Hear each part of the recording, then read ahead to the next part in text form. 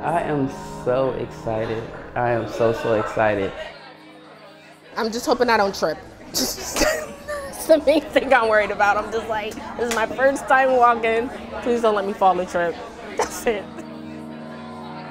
This is actually my first fashion show. I've never done anything like this before. So I've never done a runway show like this before. I've never walked the runway before. This is my first show. I've never done anything like this before. But it's something I've always wanted to do since I was little. I've just never had the confidence to do it. I'm not the typical size that you would see on the runway. So for me to like have be able to do this and just showcase, you know, what I can do, I love it. Like I was just like, this is something I have to be a part of. It's really official. You sit down with the makeup artist, putting it on. It's like, okay, it's about to be lights, camera, action. Everything that I worked on this far, I'm about to be able to present it to the world.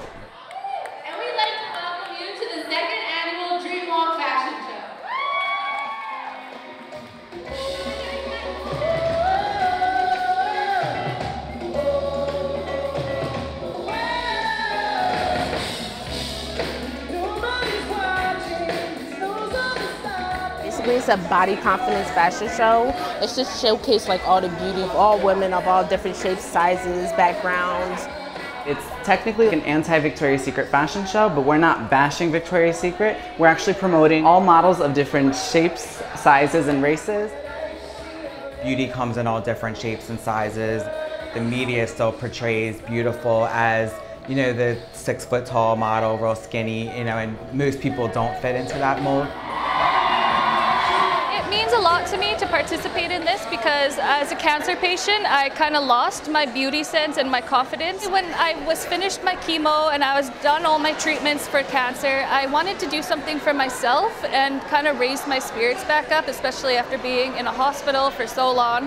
Um, I was looking up amputee uh, friendly fashion shows. With this show, I feel a lot more beautiful and especially with the energy around me, it feels good. This fashion show means a lot to me personally because I feel like feminine gay guys in the community don't have fair representation. Hopefully we'll show the media that, that this is really what real people are like. This is one of my dreams to, you know, put the costume on and, you know, and show who I am, show my confidence.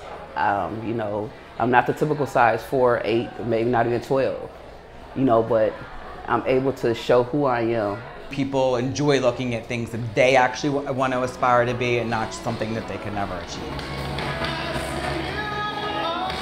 Beauty is confidence within yourself and also it's basically your personality and attitude towards life. Beauty to me is not just what's on the outside, it's not physical. I feel like it's what's in the inside. You just need to have that positive energy because when you love yourself, it opens up so many doors for you. I just hope that stuff like this allows other fashion lines and fashion shows to open up the door because it's not about how you look, it's about how you feel and who you are.